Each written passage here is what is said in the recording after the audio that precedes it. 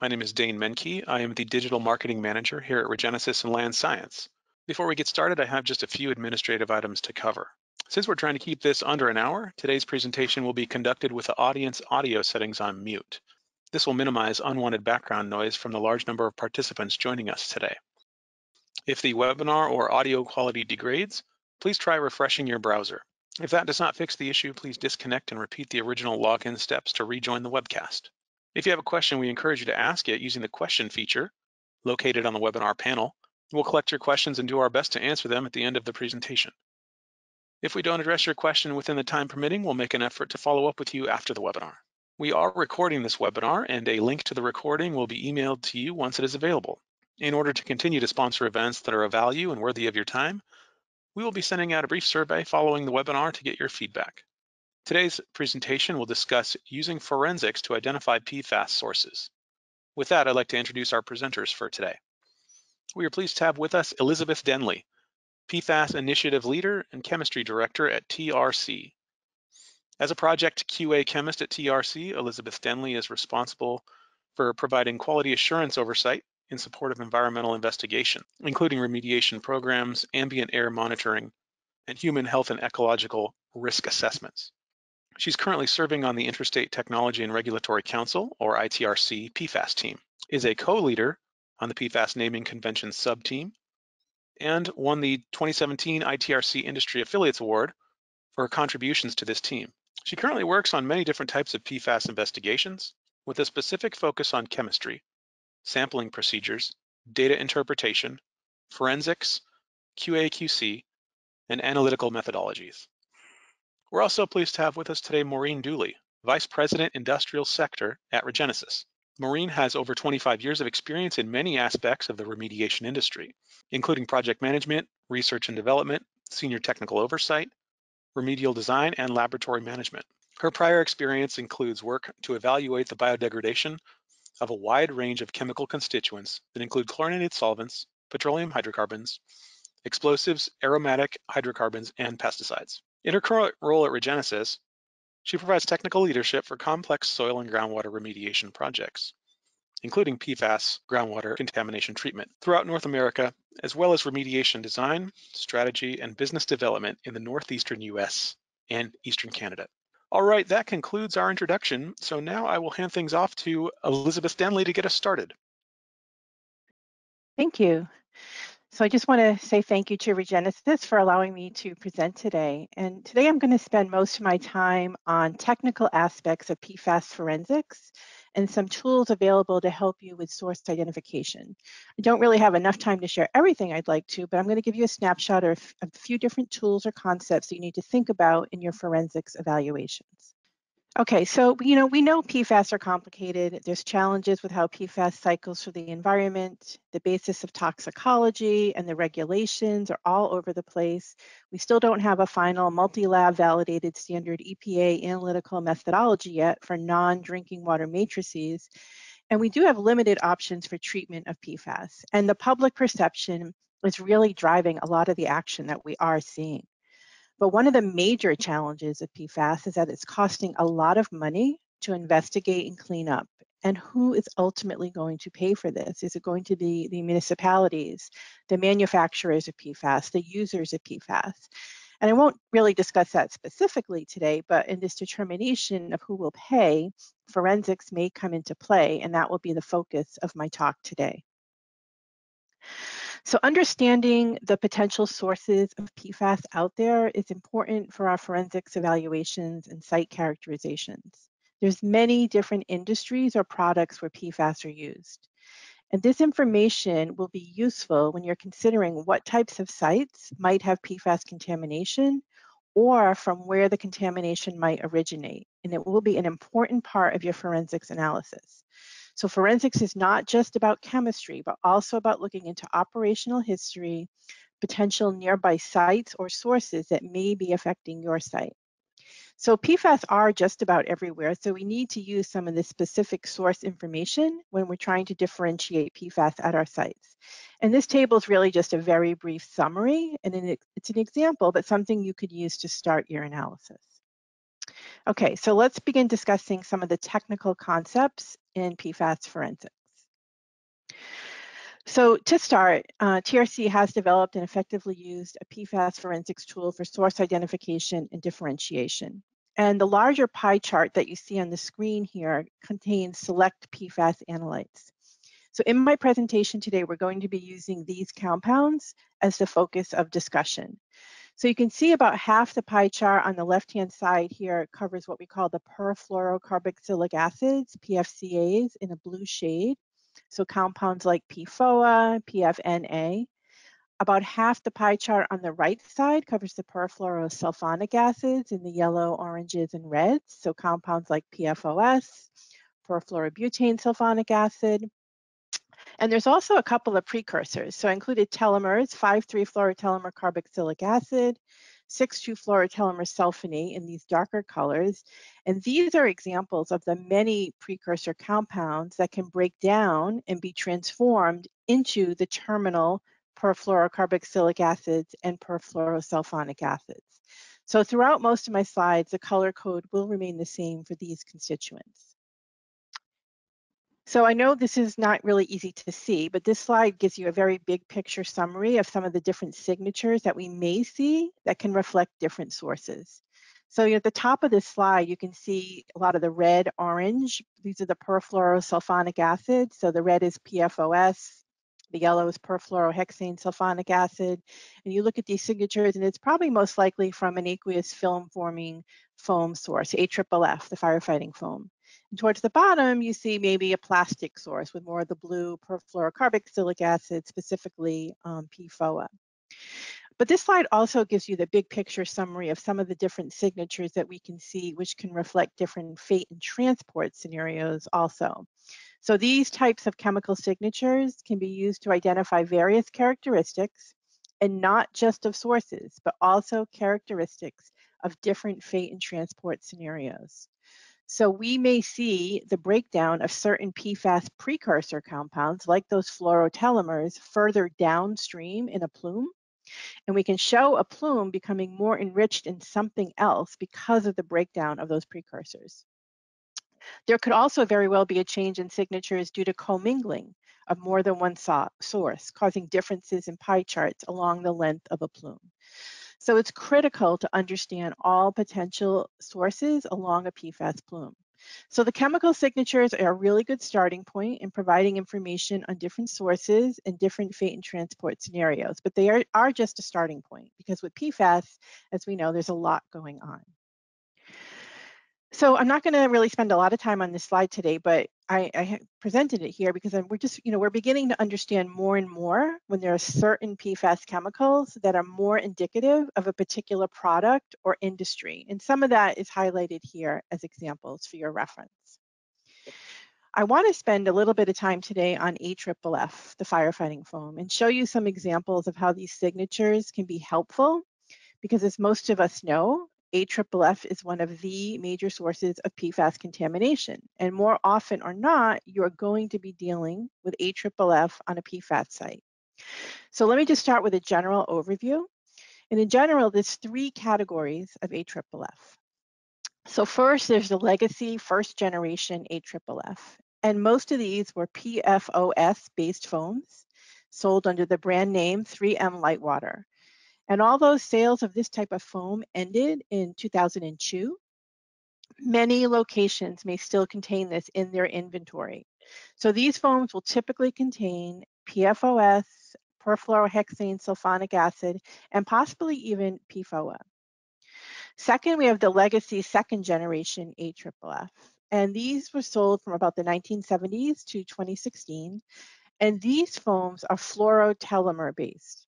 And these foams contain long chain fluorotelomers, most likely 8,2-fluorotelomer sulfonate mixed with 6,2-fluorotelomer sulfonate. But it is the longer chain 8,2-fluorotelomer sulfonate that we're concerned about because this fluorotelomer can break down to PFOA. And third is the modern fluorotelomer AFFF. So most foam manufacturers have now transitioned to the use of only short chain fluorotelomers, so the 6,2 fluorotelomer sulfonate.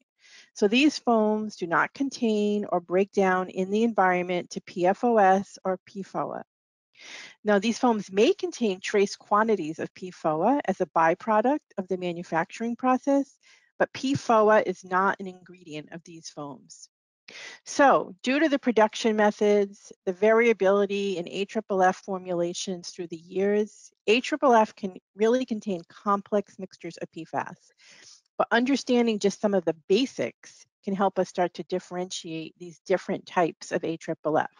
And this will be important for your forensics analysis.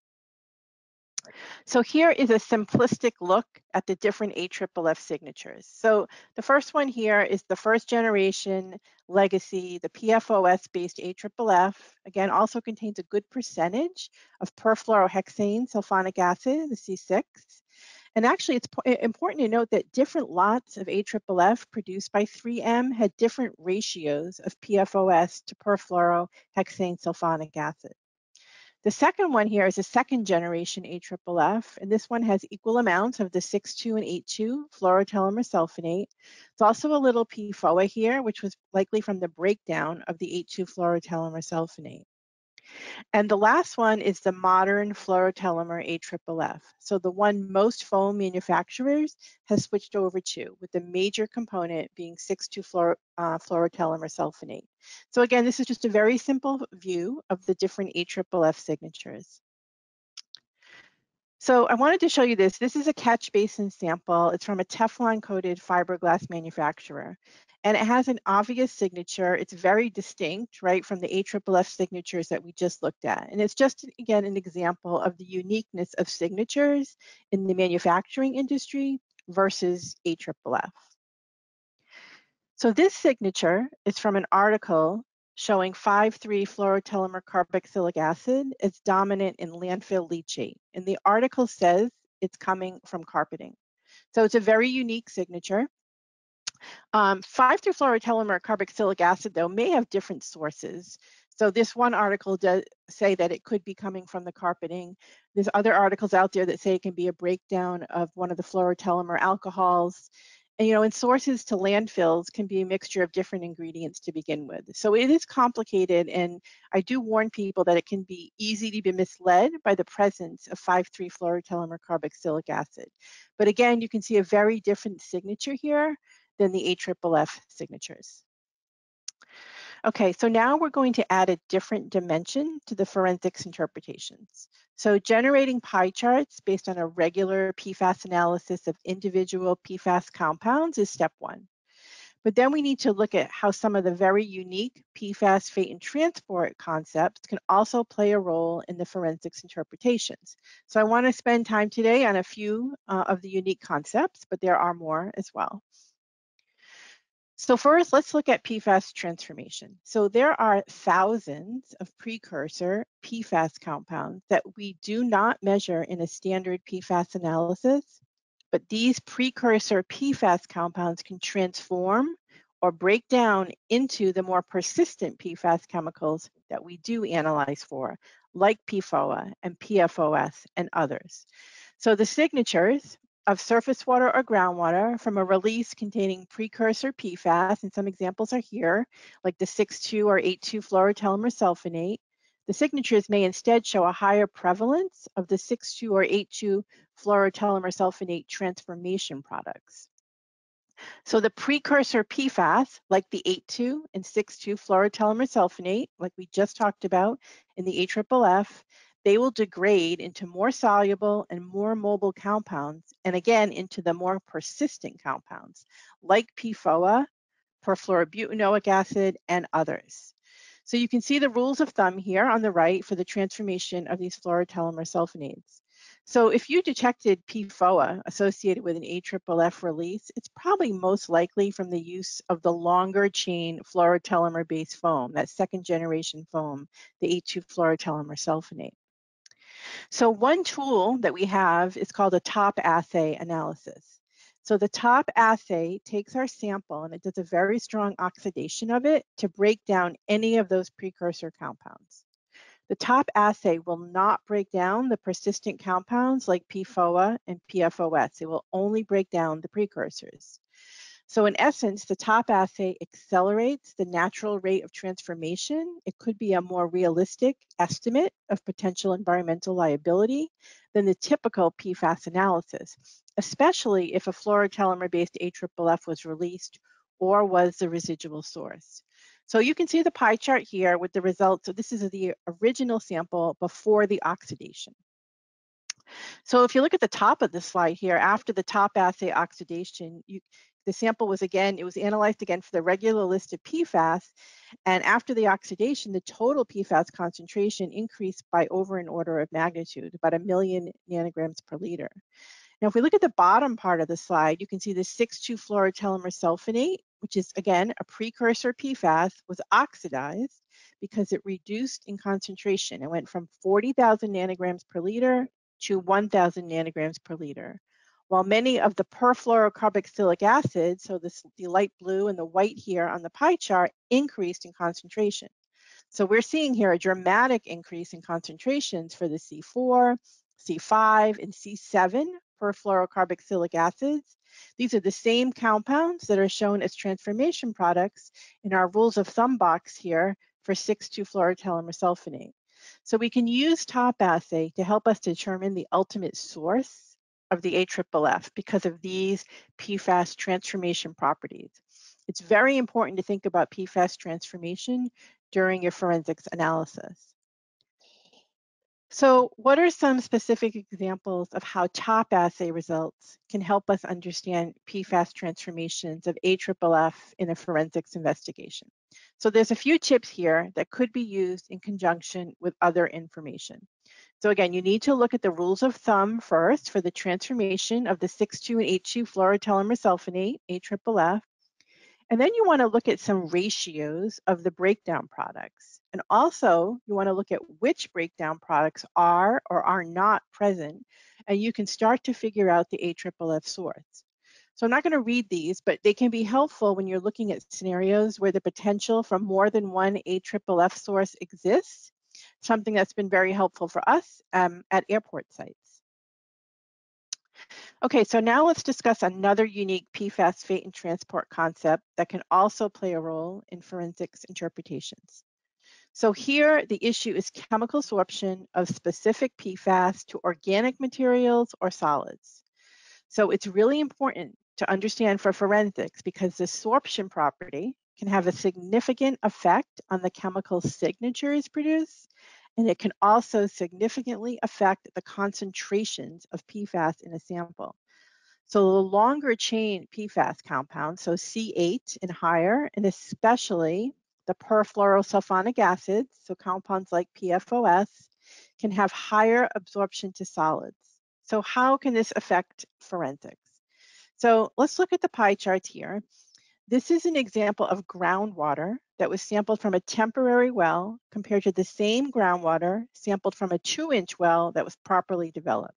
You can see the turbid water has a much different composition than the clearer water with higher concentrations of the six carbon perfluorosulfonic acid and the eight carbon PFOA. And again, we know the longer chain PFAS and even more so for the perfluorosulfonic acids adhere more to the solids.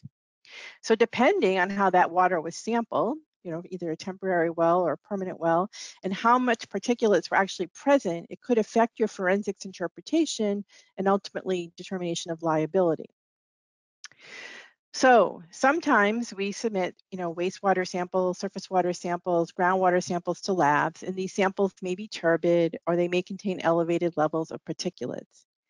And when our samples are turbid or they have elevated levels of particulates, as I said, it could affect your forensics interpretation and it will be dependent on what the lab did with the sample. So the point here is something many people are not aware, which there's a major inconsistency in the lab community on the handling of these aqueous samples with particulates for PFAS analysis. There is no consistent method, and again, these particulates can significantly affect PFAS concentrations, and not only the concentrations, but also the PFAS signatures that we create. So the resulting concentrations of PFAS and the resulting fingerprint of PFAS is going to vary depending on how the lab handled the sample. So some of the potential differences from lab to lab are listed here for your reference, but it's very important to one, you know, work with the lab ahead of time to figure out what you want based on your project objective. And two, if you're receiving data that's already been generated, please, you know, understand what the lab did and if particulates were an issue because this could affect your forensics interpretation. So question the data that you are receiving. This is just a really good slide I like to show, just illustrating the persistence of PFAS. It's from the Cape Fear River, from the Chemours site. The samples are upgrading of the site. And you can see the consistency of the, the signature. The scale is 10 miles. If you look at the pie chart here at mile four, towards the top, you have 126 nanograms per liter. 20 miles downstream, you see pretty much the same signature, very, very similar concentrations. So there's hardly any dilution or sorption, nothing much has changed. It's actually kind of amazing. This is also good evidence that there's not much absorption to soil going on here.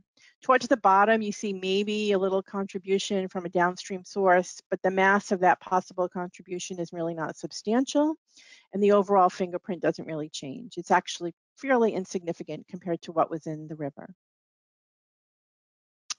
So as we know, the standard PFAS analyte list continues to change. Obviously, the more information we have on the composition, the better. The commercial labs right now, they can analyze for up to about 70, 75 different PFAS chemicals. But one of the problems is, is that the largest data set we currently have is from UCMR3, and that only includes six of the perfluoroalkyl acids. Now, in the next few years, with UCMR5 happening, we're going to have a, a much larger data set that will include 29 different PFAS. But the comparison of signatures requires careful consideration of the analyte list.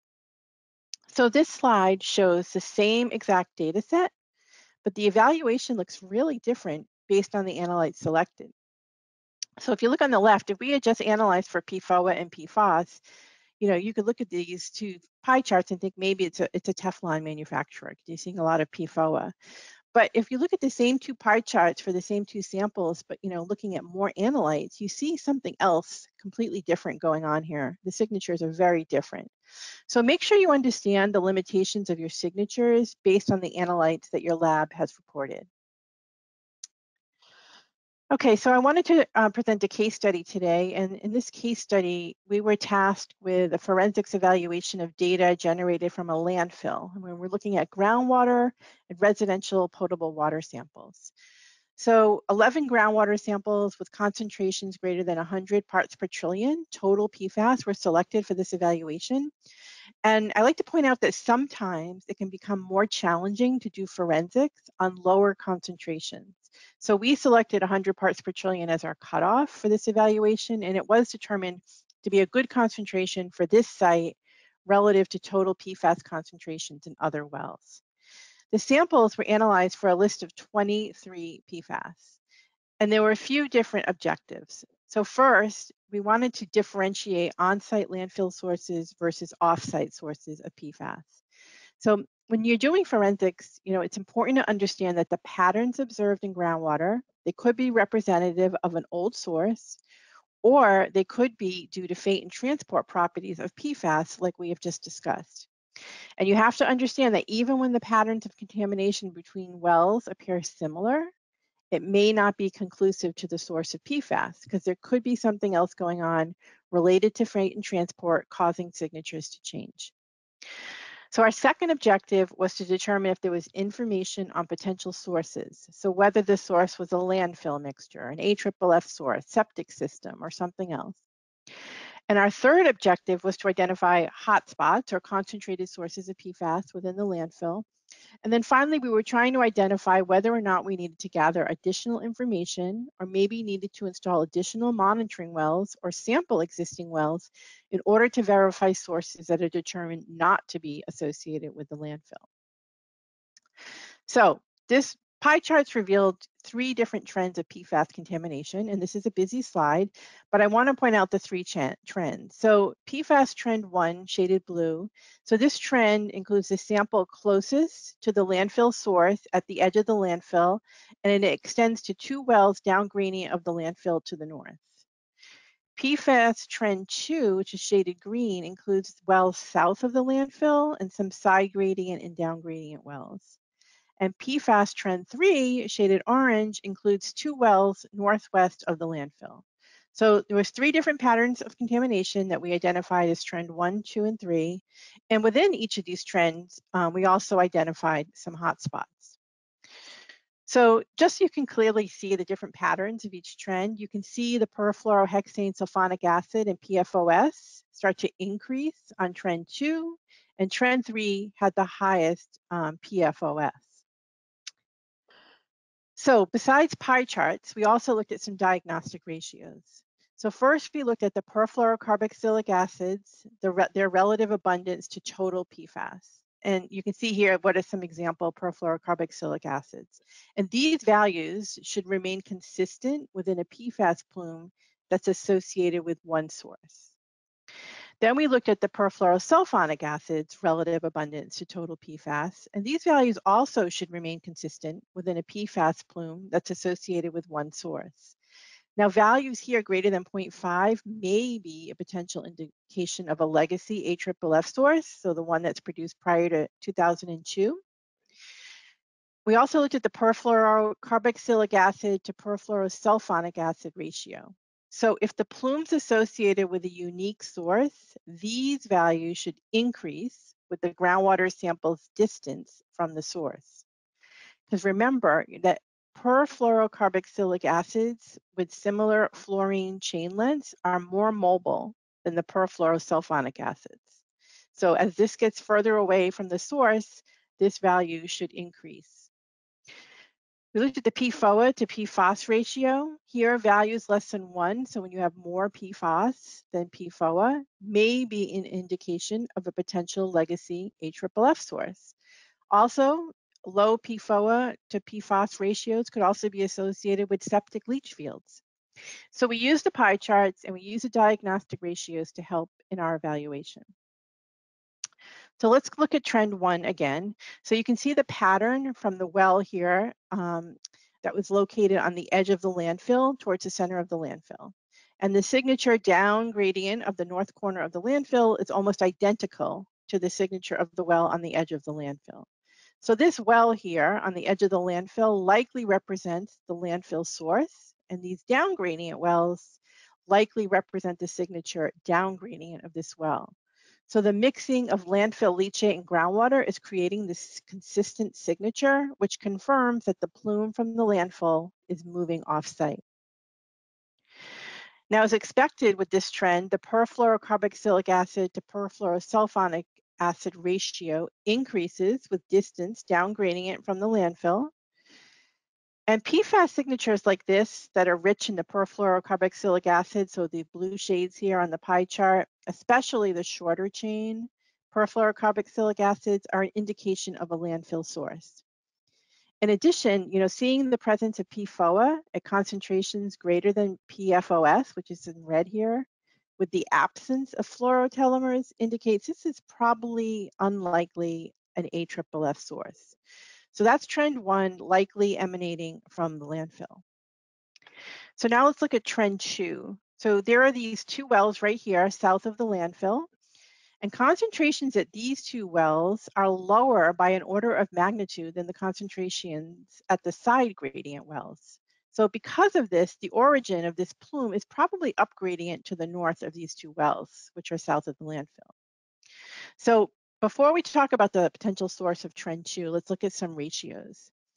So again, as expected, the perfluorocarboxylic acid to perfluorosulfonic acid ratio increases with distance down gradient from the well couplet, which was again south of the landfill and closest to the source. So potential sources of this plume include the scale house septic system in the southern part of the landfill footprint, so just north of this well couplet. So former scale house areas were generally not well lined, and many of them accumulated liquid waste for recycling or offsite disposal. And the liquid waste storage areas could be a source of PFAS from potentially high concentration PFAS solutions, including um, AFFF concentrate, alkaline cleaning fluids, and carpet treatment chemicals. So this was one area where we are recommending some future work to confirm the source. I think we may need to install a shallow well to determine if this uh, PFOS richer groundwater is associated with the landfill or another source, source such as the scale house area. Okay, so now let's look at trend three. So the pattern observed here was not a landfill source. Um, in most landfill groundwater, PFOS is a minor constituent since PFOS and other perfluorosulfonic acids would absorb to the municipal solid waste in the soils more than PFOA and other perfluorocarboxylic acids. So if you remember from the slide with uh, about sorption, the perfluorosulfonic acids have a higher tendency to bind to soil than the perfluorocarboxylic acids, and the perfluorocarboxylic acids are leaching away from the soil or municipal solid waste quicker than those perfluorosulfonic acids. So when higher concentrations of PFOS are detected, there's a higher likelihood of a different source. It could be a, maybe a liquid source, such as the use of AFFF. It could be a chemical poured into a septic system, could even be a, a composting facility. And potential PFAS sources to septic systems include both perfluorocarboxylic acids and perfluorosulfonic acids that could be found in carpets, carpet cleaning solutions, wash water from cleaning, water resistant or stain resistant clothing, and alkaline cleaning agents. Okay, so in the case of these wells, again, they were located northwest of the landfill. There's likely another upgradient source because the PFOS-rich downgradient groundwater results are generally not associated with landfills. So here we need to do some research on potential upgradient sources and maybe install a new well depending on what we find. So in all of these evaluations that I've shown you, we have to remember also that when there's a low organic composition in the source matrix and in the groundwater, the PFAS composition of a groundwater plume will generally reflect the PFAS source composition. So that's when there's a low organic composition. In addition, when there's a low organic composition, the longer chain PFAS may also be identified from these sources as those longer chain compounds are more mobile in matrices with lower organic compound, uh, lower organic content. But under organic rich site matrix conditions, like a landfill, those perfluorosulfonic acid compounds may be selectively filtered out at a higher rate than the perfluorocarboxylic acids, resulting in more of a perfluorocarboxylic acid rich groundwater plume. So my final slide, my takeaway messages today, for today, um, in the interest of time, I'm not going to read the slide, but I think the major takeaway message is that PFAS forensics involves not only chemical signatures, but a really good understanding of the unique fate and transport properties of PFAS. And it's really important to also make sure you understand what analyte list you're going to be including in your forensics evaluation. And with that, I'm now going to turn it over to Maureen Dooley of Regenesis. Well, thank you, Elizabeth. That was a really interesting and enlightening presentation that speaks to the complexity of the class of compounds and how important understanding the sources and fate and transport of PFAS in the subsurface. And you know, some of the points that you made in your conclusion, um, I think are really important. And they're really important as it relates to even thinking about what the next phases are in remediation. And you know, it's the composition of the PFAS. You know, you know, what do you have? You know, what are you know, and also the complexity of the hydrogeological conditions and how important is to understand that. So what I'm hoping to do in the next few minutes is to elaborate a little bit on data needs, you know, how it relates to remediation, specifically in situ remediation. And I think what I really want people to think about is, you know, what's the information you need for remediation design? You know, can this be incorporated as part of site characterization activities when data are being being collected to gain an understanding of the PFAS fate and um, transport. So this next slide, I know this is a little bold, but you know, what if we could bring you a PFAS groundwater remediation solution that is proven much lower cost than pump and treat and guaranteed up to 30 years. Now, I, I bring this up. This is a very complicated class of compounds and we have limited remedial options.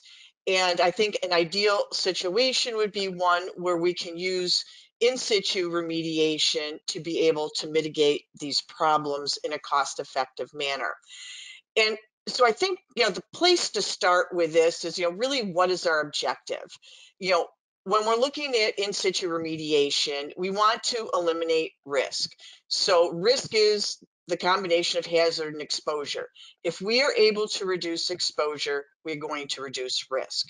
Now, what we'll talk about is colloidal activated carbon, and we know that can PFAS compounds can sorb to that. And Elizabeth, you know, just you know mentioned that in some of her investigations and how when you have additional organic matter, you know, certain classes of PFAS compounds will tend to get bound up in it. So if you're able to engineer a system where you can bind this up, change some of the mobility characteristics and reduce exposure, you know, this can be a feasible option, you know, for a risk management scenario. And this approach is also really consistent when you think about natural attenuation. So what I want to refer to is a paper that Dr. Newell published recently on monitored natural attenuation and he lays out some processes for doing site investigation and considering you know natural attenuation as a program for PFAS impacted groundwater. But you know, just stepping back for a second, you know, what is natural attenuation? And you know, going back, you know, to what you know EPA defines this is, you know, this is an approach that relies on natural attenuation processes to achieve site-specific remedial objectives within the time frame that's reasonable. And there are a number of natural processes that include the reduction of mass, toxicity, mobility, volume, or concentration of contamination. So the processes that are typically associated with natural attenuation, the first one is transformation. Now with PFAS, what's interesting about this is, as Elizabeth discussed, with precursors, you can observe a lot of transformation, but that transformation may end up as you know PFAS or you know a compound like that. And so for natural attenuation and looking to reduce toxicity, um, degradation processes are not really something that's available, unfortunately, now. This is something that we would look at for chlorinated solvents or petroleum hydrocarbons. Um, a second process is reduction of contaminant concentrations. Quite often, this is achieved if you have source mitigation. So if you have source mitigation, then there is less contaminant getting into groundwater. And so that's not really what we're talking about here. So what I want to refer to is the reduction of contaminant mobility and bioavailability. So this is getting into enhanced sorption. If you have organic material, which we see in the natural pro in, in natural conditions, you may have some segment of the PFAS constituents tending to sorb. What we would what we're looking at is the application of colloidal activated carbon to enhance sorption and also change mobility and the transport properties of PFAS through groundwater and reducing mobility and reducing exposure. So just getting back to you know what is plume stop? It's a form of activated carbon. We mill this down to one to two microns. It is then suspended in a polymer and that allows us to inject it into the saturated subsurface with low pressure and get this widespread distribution. Um, we've been involved with the colloidal carbon and plume stop for many many years uh, commercial applications began in 2015, and actually our first application of Plume Stop to address PFAS contamination occurred in 2016. And over this time period, we certainly have gained a lot more understanding of how to use colloidal carbon and how best to apply it in the subsurface. Um, just you know, briefly, sites that we've been working on. Uh, we have projects across, you know, really in the U.S. and across the world. We probably have over 26, 28 application field applications to date. The types of sites that we're working on predominantly have been industrial manufacturing, um, airports, but we also have applications in DoD facilities, other bulk storage, and you know Superfund sites. But so, so what is this? You know, what's the process that takes place? So you have groundwater plume contamination is is moving through. Um, we will apply the colloidal carbon. It will take about 30 days to establish this barrier. And then some of these individual PFAS compounds will become sorbed to the colloidal carbon. So we're in essence creating this Brita filter. Um, I'm not going to get into you know tons and tons of detail based on time.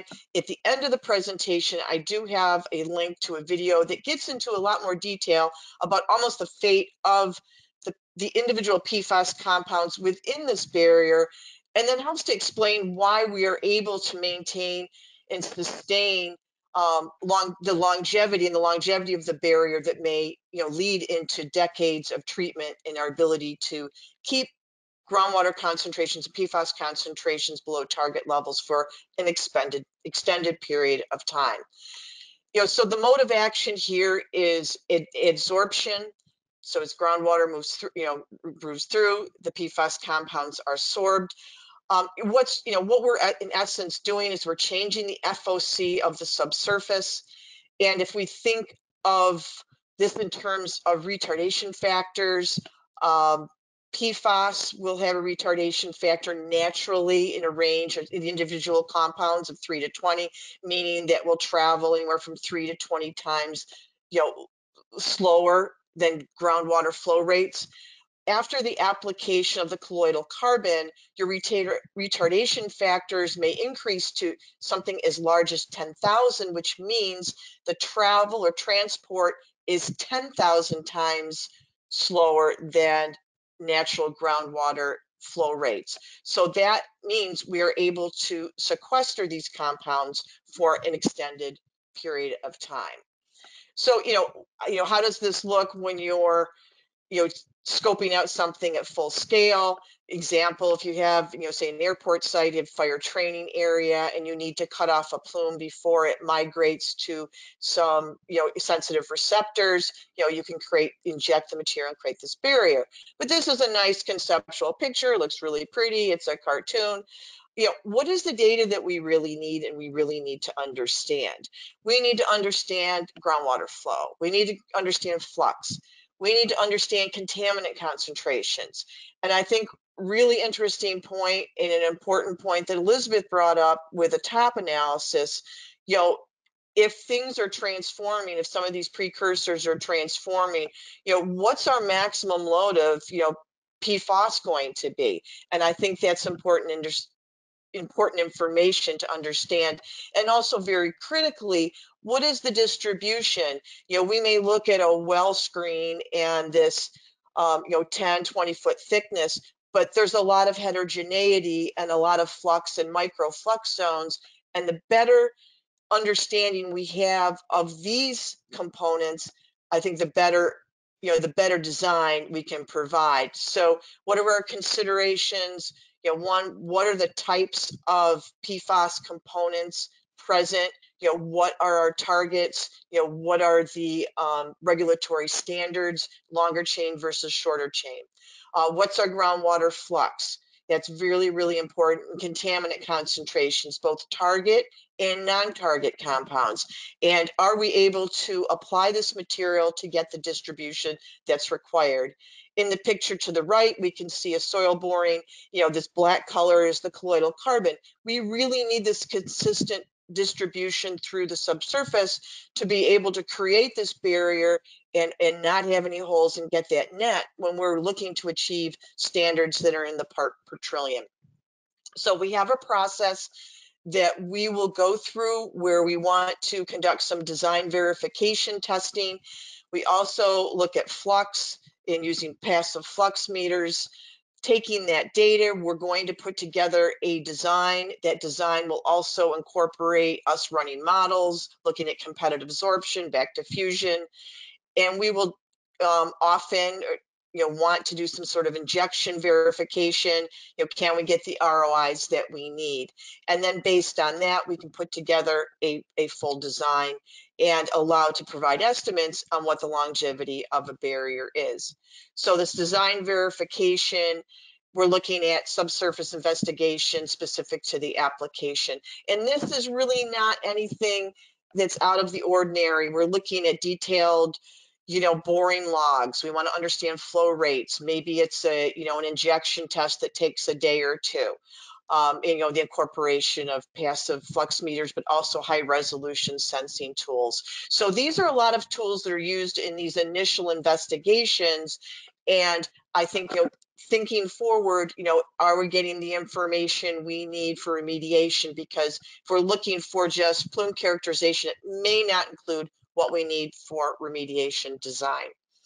Um, our flux tracer tool is our passive flux meter. I'm not going to spend a lot of time. You can go to our website on this, but basically this is a pre-assembled device that you can you can place in an existing well, put it there for two weeks, retrieve it. This is something that consultants, you guys do this yourselves. Um, you send you send these this device back to us and we can do analysis to look at, you know, in one foot sections, you know, what the flow, you know, what look at calculating Darcy flux, mass flux in groundwater, which is extremely useful in our designs. You know, ultimately, we want to we want to um, have this data available so we can get results that show rapid reduction, sustained treatment, you know, have a program that doesn't require O&M, no waste generated, sustainable and low cost. This, this figure shows the results from our first test, uh, our first application of of plume stop for PFAS that was in Ontario, and we're you know at six years right now, and we've still been able to maintain the targets. The um, the other important thing I want to bring out, a lot of times people talk about longevity, and with Regenesis, if we go through this process of evaluating a site, you know, running the DVT, doing the flux tracers, you know, going through this commissioning phase and confirming feasibility, you know, we are we are going to warranty our barriers for a standard 10 years and up to 30 years. So we have confidence that you know we under we have a good understanding of the capability of the colloidal carbon and if you know we have you know we look at the site site details th this is certainly something that is going to be standard for us in moving forward with some of these uh, plume stop PFAS applications. So really in summary, you Regenesis, we have a suite of remediation technologies. Um, the colloidal carbon is something that you know can be used and is being used to address and reduce the risk of PFAS in groundwater data collection, data need, data is really, really important and our design verification is an important stage for us to really understand your site um, to develop these cost-effective strategies.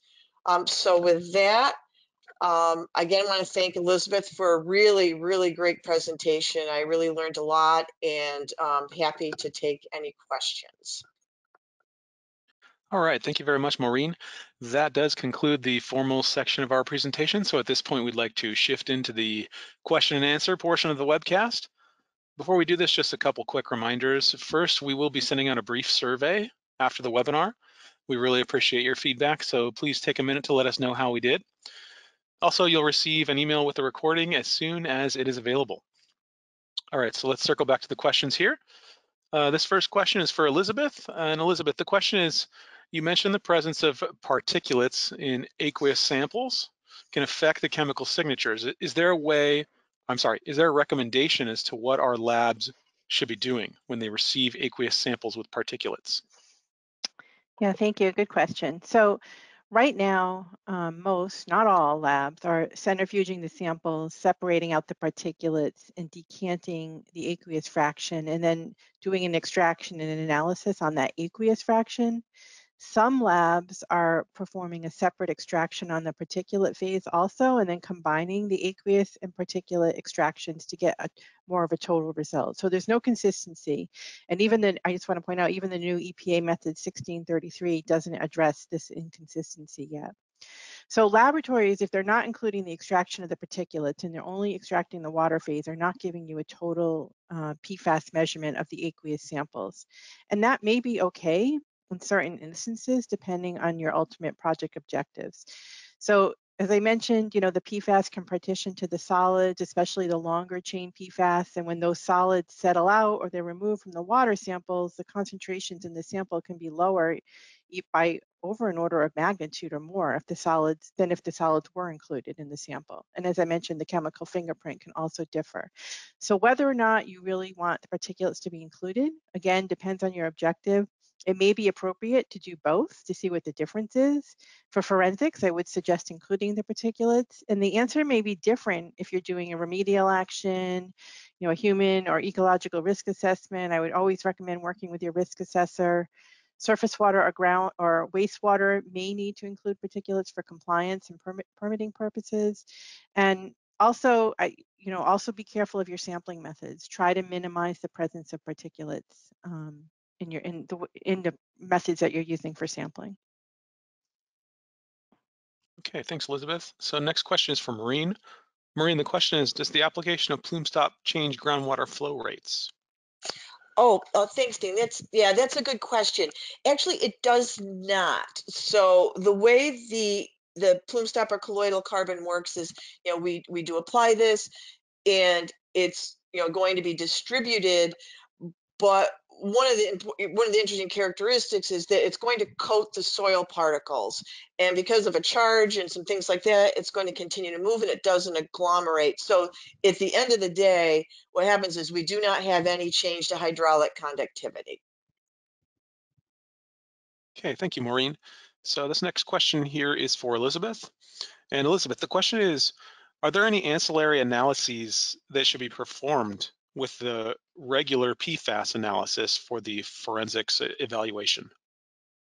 Uh, yes, definitely. So when you're collecting aqueous samples in the field, especially uh, surface water, groundwater, make sure, first of all, that you're measuring turbidity. And it may also be helpful to submit samples to the lab for total suspended solids analysis. It's not expensive and, and it can help you interpret the results you do get. Another thing, it may be helpful to know if you have an organic rich matrix or not. Because remember, if you do have an organic rich matrix, some of those PFAS, like the perfluorosulfonic acids, like PFOS, could be selectively filtered out at a higher rate than things like PFOA because they'll get absorbed to the organic material. Um, so adding, you know, it'd be helpful to add a TOC analysis as well. And adding analyses like total suspended solids, total organic carbon are low cost, easy to do analyses like top assay that I went over can definitely also be useful in circumstance, circumstances to understand PFAS transformation. Uh, th those have to be used, um, you know, judiciously because they are definitely going to add more significant costs to your investigation. Okay, thank you, Elizabeth.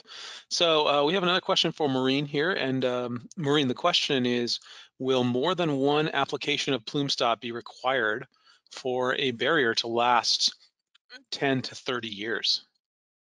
Um, yeah, that's a good question. I think probably the the question we get the most is related to longevity and you know because there's you know one a fixed amount of carbon there and a fixed amount of sorption sites um, you know well, how does this affect longevity? Do you have to, you know, reapply? At first, everything is going to be, you know, specific to an individual site.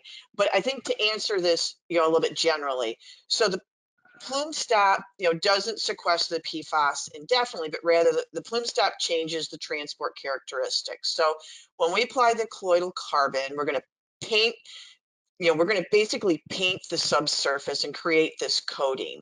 And that changes the FOC, as we've talked about, retardation factors in this transport.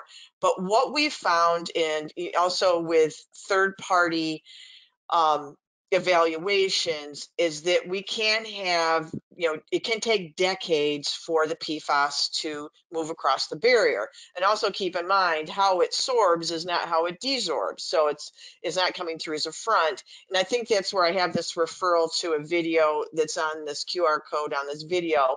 That's going to give, I think, a little bit more detailed um, information and how this transports. But you know, there, at the end of the day, we are able to design barriers with a single application that can be maintained for 10 to 30 years and even longer. But what is going to drive this and drive the feasibility of this is obviously going to be our flux, our contaminant concentrations. Um, and so for us to have a really good understanding of what's at the site, you know, what do we have coming into it? And I think then the other component of this is is there a is there a consistent source and is there any source mitigation? Because that will also um, be an important part to that in the longevity of the barrier. But what we'll do is we'll look at every site individually and we can discuss that. But we certainly have designed and can design sites for just single applications. All right, thanks, Maureen. Um, we have another question here for Elizabeth. And Elizabeth, the question is, have you been able to determine unique signatures of other sources besides AFFF? Huh, yes. Uh, actually, we're working uh, with the municipality right now who recently started detecting PFAS above their state's uh, MCL in one of the town's wells. And the compound that was most prevalent was PFNA, so perfluorononanoic acid. So we started, we did this focused desktop study first to determine uh, the source of the PFNA, focusing on the homes, the new football field installed, schools in the area of the well. We looked at janitorial practices, chemicals used. I can tell you safety data sheets on cleaning products provided little to no information. Um, and we suspected that what it came down to had to do with the washing of the carpeting in, in schools with the wash water that's getting sent down the drain. So we did a little experiment. We had one of the schools uh, clean the carpets one day and we sent a sample of the wash water and the cleaning product off for PFAS analysis. And the cleaning product sample unfortunately exhibited a lot of um, matrix issues and we didn't really get good results from it. But the wash water was clear, you know, that the PFNA was coming most likely from the stain treated carpeting. And PFNA is known to be associated with carpeting um, and stain resistant materials. So at this point, we're actually, you know, we're going to stop the source. We're going to have the schools start containerizing their wash water, sending it out for disposal. We're going to set up a temporary treatment system at the wellhead to eventually flush out that PFNA from the well. So it's an interesting project. That's an interesting source. I mean, it, it, you never know where yeah. you're going to find it, right? Exactly. All right, so we have time for, I think, one maybe one more question here. Um, Maureen, this is a question for you. It is, um, have any PFAS sites been closed after a plume stop application? Oh, yeah, um, yeah. So looking at our site, actually our first site that was up in, in Canada from 2016, the monitoring that we're doing now is really just for academic purposes. So that you know we had a regulatory resolution, and and so that's been you know so that's not being sampled anymore. You know, it's only because we're we're just wanting to track the data over the long term. Um, we also have received our certificate of completion for programs that were used in brownfield program um, where there was PFAS contamination. So we've we've also achieved that sort of certification or closure. All right, thank you very much, Maureen. That is going to be the end of our chat questions. If we did not get to your question, someone will make an effort to follow up with you. If you'd like to learn more about services from TRC, you can visit trccompanies.com if you'd like to learn more about remediation solutions from Regenesis, please visit regenesis.com. Thanks again very much to Elizabeth Denly and Maureen Dooley, and thanks to everyone who could join us. Have a great day.